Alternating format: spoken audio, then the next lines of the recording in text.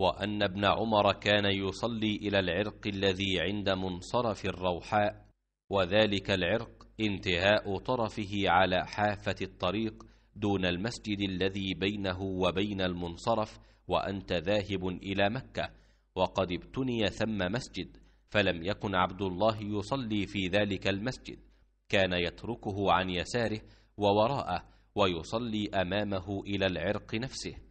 وكان عبد الله يروح من الروحاء فلا يصلي الظهر حتى يأتي ذلك المكان فيصلي فيه الظهر.